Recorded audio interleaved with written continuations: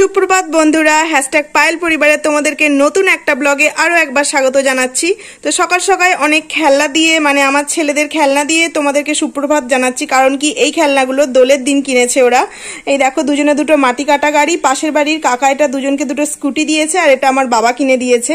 তো প্রথমেই ভাবলাম তোমাদেরকে এই নতুন খেলনা দিয়ে, কারণ নতুন জিনিস, দোল পূর্ণিমার পরের দিন নতুন কিছু জিনিস দিয়ে তোমাদেরকে ব্লগটা স্টার্ট করলাম। আর এখন ঘড়ির কাটাতে বাজে এগারোটা এগারোটা থেকেই আমি আমার ব্লগটা শুরু করছি।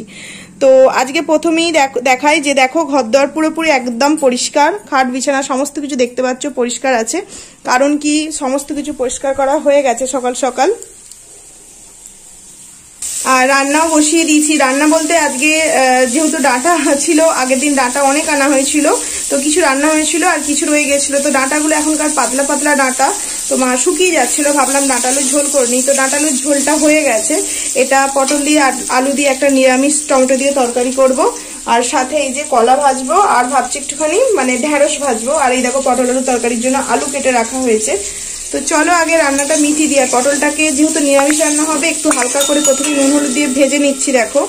তো পটলটা আমার ভাজা হয়ে গেছে, আর ভাত এখন আজকে বসায়নি, ভাবলাম একটু পরেই বসাবো, একদম গরম গরম। আর দেখো, পটলগুলোকে ভালোভাবে ভেজে তুলে নিয়ে কড়াতে তোমার তেল দিয়ে গোটা গরম মশলা দিয়ে দিয়েছি। যেহেতু নিরামিষ রান্না, গোটা গরম মশলা দিলে একটু খেতে ভালো লাগবে। আর তোমার একটা গোটা টমেটো দিয়ে দিয়েছি আর একটা কাঁচা লঙ্কা চিড়ে দিয়েছি। তো আলুগুলোকে টমেটোর সাথে ভালোভাবে ভেজে নিলাম। আলাদা করে আর ভাজিনি আর যেহেতু নিরামিষ রান্না না, একটুখানি তোমার আদা বাটা, জিরে গুঁড়ো এই দিয়েই করে নিচ্ছি। তো দেখো, ভালোভাবে মশলাটাকে কষিয়ে নিচ্ছি। কি খেয়েছো? হ্যাঁ? চটচেট চকলেট খেয়েছো? কে দিল? মশাই। দিয়েছে? ও। তো দেখো আমার ঝোলটা টকবক করে ফুটছে এবার আমি পটলগুলো দিয়ে দিলাম। আর আজকে না একটা একটা অন্য মশলা একটু দেবো ট্রাই করব। তো দেখো এটা হচ্ছে কাসুরি মেথি। তো যেহেতু যখন পুরো পটল আলু তরকারিটা পুরো হয়ে গেছে তখন এটাকে হাতের সাহায্যে ভালো করে ডলে দিয়ে দিলাম। তো খুবই সুন্দর খেতে লাগবে এটা তোমরা একবার ট্রাই করতেই পারো। আর রান্না আমার কমপ্লিট হয়ে, এ দেখো এটা মানে ও বাজার গেছিল, বাজার থেকে চিংড়ি মাছ নিয়ে আসা হয়েছে। একটু ইচ্ছা হচ্ছিল যে চিংড়ি মাছের মালাইকারি করব, যেহেতু মানে রাত্রিবেলায় জিজু আসবে মানে জামাইবাবু আসবে সেই কারণেই। তো দেখো এখানে চিংড়ি মাছ নেওয়া হয়েছে, আর রুই মাছও আনা হয়েছে, কারণ কি মানে বাচ্চাগুলো তো আর চিংড়ি মাছ খেতে পারবে না, সেই কারণে তো বাছা হচ্ছিল ওগুলো। আর এখানে আমি নিচে আবার এসে আবার একটু মানে ঢ্যাঁড়স ভেজে নিচ্ছি আর কলা ভেজে নিচ্ছি। তো দেখো আমার মাছগুলো বাছা হয়ে গেছে। নুন, হলুদ মাখিয়ে ফ্রিজে এখন পুড়ে দেবো। রাত্রিবেলা আবার বের করব।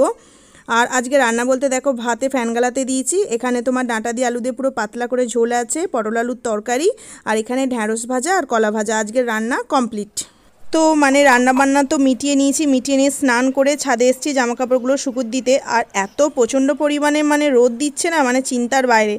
তো দেখো আমি জামা কাপড়গুলো কিছু শুকিয়ে গেছে, তুলে নেব আর কিছু শুকুর দিয়ে দেবো। নাহলে মানে পুরো বিকাল অবধি রাখলে না জামা কাপড়ের রং পুরোপুরি আর মানে দেখা যাবে না। গুড নুন বন্ধুরা। তোমাদের সাথে তো সকাল থেকে ক্যামেরার সামনে আসার সময় হয়নি, সত্যি কথা বলছি। এখন ঘড়িতে আড়াইটে বাজে, আড়াইটে না, দুটো চল্লিশ। তো আমি এখন স্নান করে এসে জামা কাপড়গুলো সব শুকুর দিলাম, আর কিছু জামা কাপড় দেখতেই পাচ্ছ, তুলে নিয়ে এলাম। কারণ কি প্রচণ্ড রোদ, আর নিচই কথা বলতে পারছি না, কারণ কি একটা ঘরে বাবু ঘুমাচ্ছে, একটা ঘরে গুড্ডু ঘুমাচ্ছে, কথা বললেই উঠে যাবে, সেই কারণে আর নিচই কথা বললাম না। ভাবলাম তোমাদের সাথে সকাল থেকে যেহেতু কথা বলা হয়নি, একটুখানি মানে ছাদে এসেই কথা বলি, আর আমিও একটু চুল শুকিয়ে নেব। এখন যদিও গরমকাল পড়ে গেছে, রোদ্দুরে এসে চুল শুকাবার কোনো প্রয়োজন নেই পাখার তলায় একটু শুলেই চুল শুকিয়ে যাবে।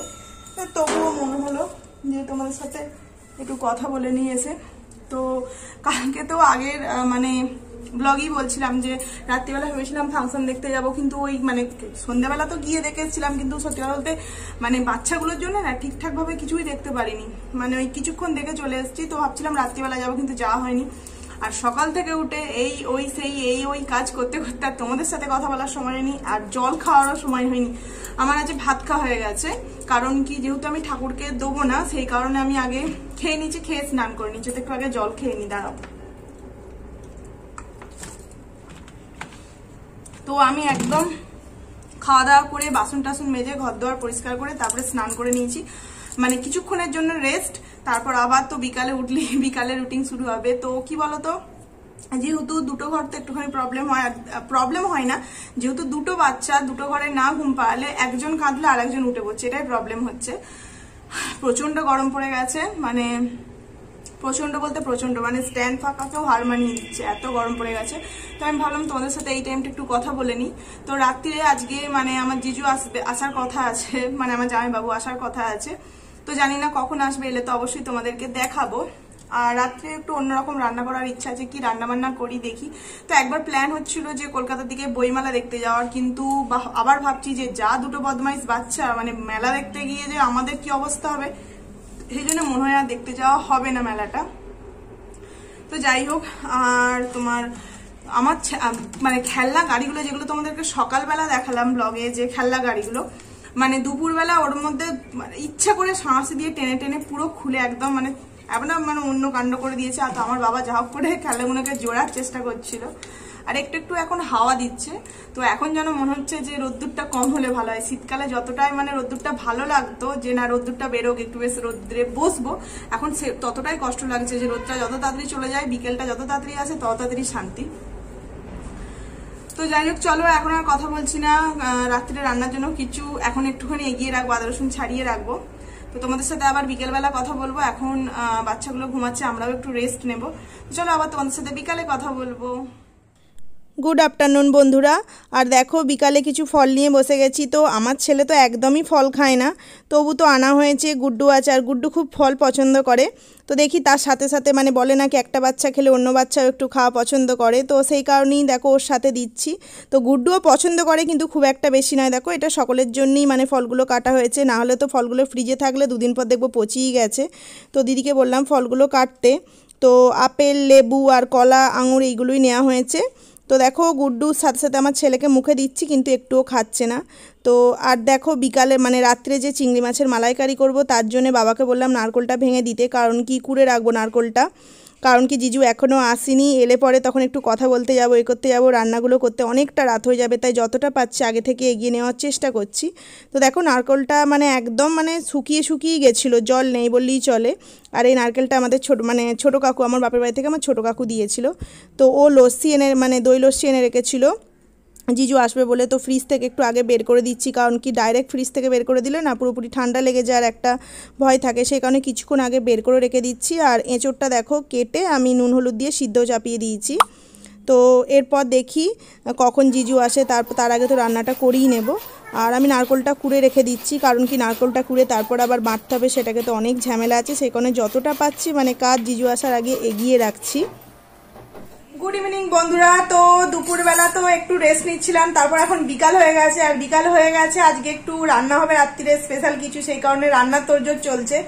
তো তোমরা তো দেখতেই পেলে যে এঁচোরটা কেটে সেদ্ধ দিয়ে দিয়েছি, আর নারকল কুটছিলাম। তো আজকে মেনু বলতে এঁচোর চিংড়ি করব, আর চিংড়ি মাছের মালাইকারি করব, আর তোমার প্লেন ভাত হবে।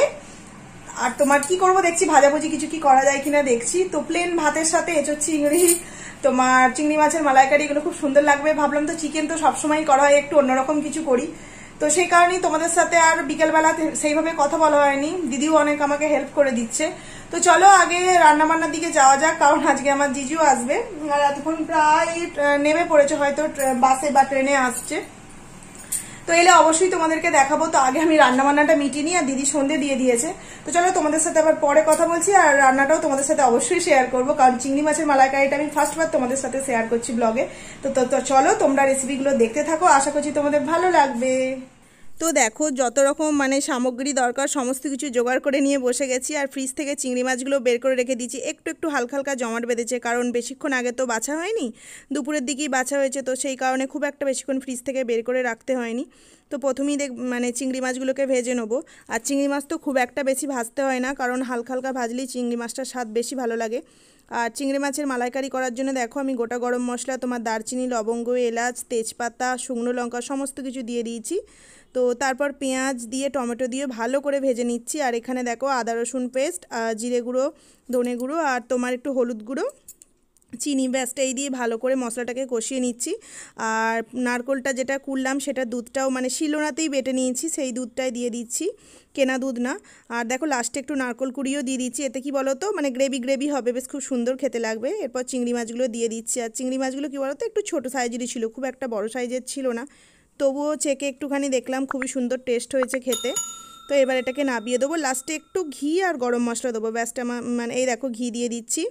আর ঘি, এখন যেহেতু গরমকাল না, পুরো ঘিটা পুরো গলে গেছে।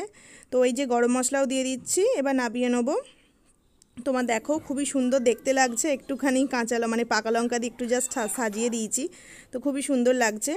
তো এরপর দেখো জিজু এসে গেছে, তো আমি একটুখানি লস্যি দিয়ে দিয়ে আসছি। কারণ কি বললামই তো আগে থেকে একটু বের করে রেখেছি। আর যেহেতু বাবুও খাবে, বাবু তো মানে দই লস্যি পুরো প্রিয়। আর সন্দেশও একটু আনা হয়েছে। আর মানে জিজু না মিষ্টি অতটা খেতে পছন্দ করে না, সেই কারণে এক প্যাকেট দেখো চিপসও আনা হয়েছিল। চায়ের সাথে একটু চিপসও দিলাম। আর এদিকে রান্নাও বসিয়ে দিয়েছি। দেখো এঁচোর চিংড়িটার জন্য সমস্ত কিছু মানে মশলা দিয়ে আলুটাকে পুরোপুরি কষিয়ে নিচ্ছি। তারপর এঁচোড়গুলো একটু ভেজে তুলে রেখেছিলাম। তো দেখো এবার এঁচোড় দিয়ে ভালোভাবে মশলার সাথে কিছুটা কষিয়ে নিয়ে জল দিয়ে দিয়েছি। তো এঁচোড়টা মানে গ্রেভিটা ফুটে গেছে এবার চিংড়ি মাছগুলো দিয়ে দিচ্ছি। তাহলেই আমার রান্না কমপ্লিট হয়ে যাবে। তো এতেও একটু ভাবছি ঘি দেবো কারণ ঘি দিলে প্রত্যেকটা রান্নারই স্বাদ দেখবে বদলে যায়। তো আমার এঁচো চিংড়ি তো পুরোপুরি কমপ্লিট আর রান্নাও ধরতে গেলে আমার অনেকটাই কমপ্লিট হয়ে গেছে। দেখো রাত্রে রান্না এই সবে মিটিয়ে নিলাম আর এখন একটু জল খাবার আমি সন্ধ্যের একটু টিফিন বানাচ্ছি। সন্ধ্যের টিফিন বলতে একটুখানি ডিম টোস্ট করা হচ্ছে। তো দেখো তোমাদের ব্যাক ক্যামেরায় দেখাচ্ছি। তো দেখো ডিম টোস্ট তো বানানো হয়ে গেছে। তার সাথে একটুখানি শসা আর সস দিয়ে দিচ্ছি। বাচ্চাগুলো খাবে যেহেতু খুব সুন্দর টেস্ট লাগবে। তো দেখো এই মাত্র রান্না বান্না মিটে এই একটুখানি রেস্ট পেলাম। একদম নিজে ফ্রেশ হয়ে মুখ ছুকে একদম সাবান দিয়ে নিলাম মানে ফেস ওয়াশ করে তারপর তোমাদের সামনে এসে একটু কথা বলছি। কারণ কি সেই মানে বিকাল থেকে রান্নাঘরে ঢুকেছি তোমাদের সাথে কথা বলার কোনো সময়ই পাইনি জাস্ট রান্নাটাই শেয়ার করলাম। তো এরপরেও তো এখনও রুটিন আছে খাওয়া দাওয়া রুটিন সেই সব বাসনপত্র ধোয়া মাঝে তো বাড়িতে গেস্ট হলে দেখবে একটু এরকম ব্যস্ততা থাকে। তো তোমরা অবশ্যই বুঝতে পারছ, আমি জানি যে তোমরা বুঝবে ব্যাপারটা। তো যাই হোক, নিজেরও কষ্ট হচ্ছে। তো ঠিক আছে, চলো। একা হাতে অনেক কিছু করছি, তো ওই জন্য একটু কষ্ট লাগছে। আর ছেলেও ঘরে বসে বসে কার্টুন দেখছে, কি আর করবে বলো? আর আমিও সেই সুযোগে একটুখানি তোমাদের সাথে ভাবলাম কথা বলে নি সেই কারণে আর কথা বলার জন্য তো আমার এই কদিনের জন্য এই জায়গাটাই একটু নির্দিষ্ট করে নিয়েছি, কারণ দুটো ঘরে দুটো বাচ্চা আছে, গেলেই বদমাইশি করবে, সে কারণে এখানে এসেই কথা বলছি। তো ওর আসতে তো একটু রাত হবে, তার আগে দেখি যদি ওদের বাড়ি খেতে দিয়ে দেবো। তো আমি সিরিয়াসলি এখন একটু এখানে তো পাখা নেই, একদম গরম করছে আর খুবই গরম করছে। যেহেতু অনেকক্ষণ ধরে রান্না করেছিলাম খুব গরম লাগছে। তোমাদের সাথে জাস্ট একটু কথা বলে নিলাম। মানে তোমার একটুখানি টিফিন বলতে জাস্ট ডিম টসি বানালাম, আর কিচ্ছু বানায়নি টিফিনটা দিয়ে দিয়েছি, রাত্রের খাওয়া দাওয়া তো এখনও বাকি আছে। তো এখন গিয়ে নিচে একটু পাখার তলায় বসবো, তারপর আবার রাত্রের খাওয়া দাওয়া হবে। তো চলো তোমাদের সাথে আবার পরে কথা বলব।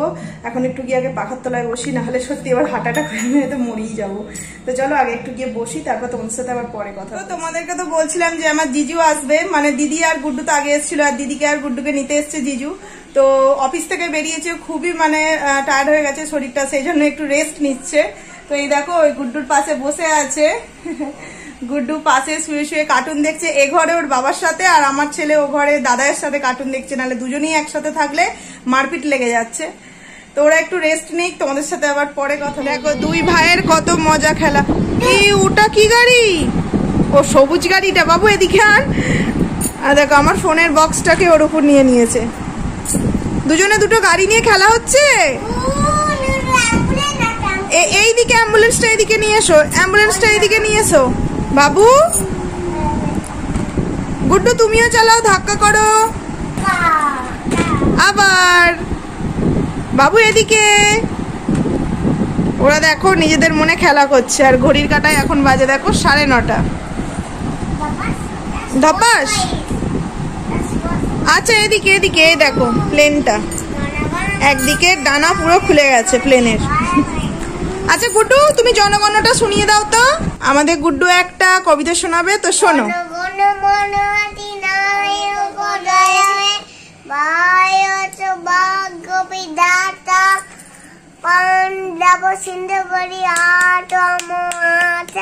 দাবে উৎকায়া বঙ্গ বিন্দুই মাতায় অমনা গঙ্গা। উত্তায়া দয়দিত অঙ্গ। দয়া হয়ে দয়া দয়া হয়ে করো ক্ল্যাপ করো বাবু ক্ল্যাপ করো তুমি। হ্যাঁ এবার বাবু বল বাবু বলবে বলো।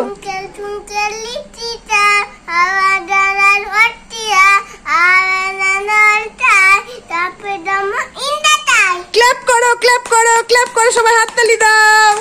এই তো এই তো দুজনেই দুটো ছড়া শুনিয়ে দিয়েছে। গুড বয় তো গুড্ডু গুড বয় হ্যাঁ আর বাবু তুমি? আমি গুড বয় ও গুড বয় এখন খেলতে ব্যস্ত দুজনে মিলে দেখো। গাড়ির তো কোনো অভাব নেই একটার পর একটা গাড়ি। না এইটা এইটা বেরো আর খাটের চাদর কোনো সময় গোছানো থাকছে না।